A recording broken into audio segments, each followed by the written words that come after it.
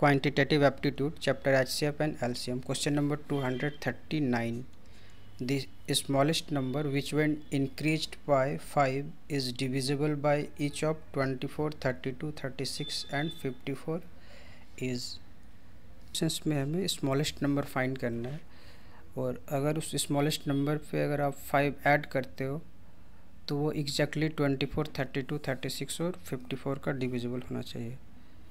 तो सबसे पहले हम ये पता करेंगे कि स्मॉलेस्ट नंबर ऐसे कौन से है जो इन चार, चारों नंबर से डिविजिबल हो। तो उसके लिए हमें इसका एलसीएम निकालना पड़ेगा। तो twenty four comma thirty two comma thirty six और फिफ्टी फोर है। तो सबसे पहले इसको हम टू का टेबल से लेते हैं।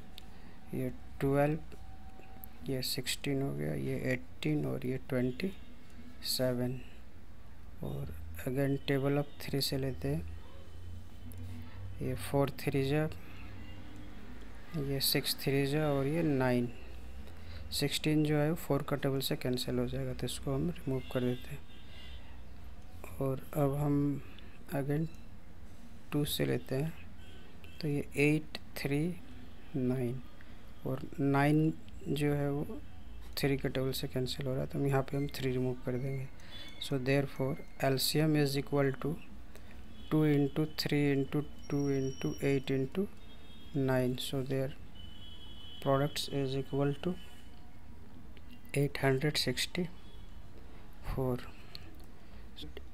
eight six four में अब हम फाइव लेस कर देंगे तो हमें, हमारा रिक्वायर्ड नंबर निकल जाएगा। So therefore required number is equal to 864 minus 5 so is equal to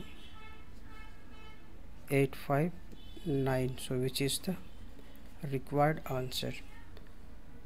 So option A is correct answer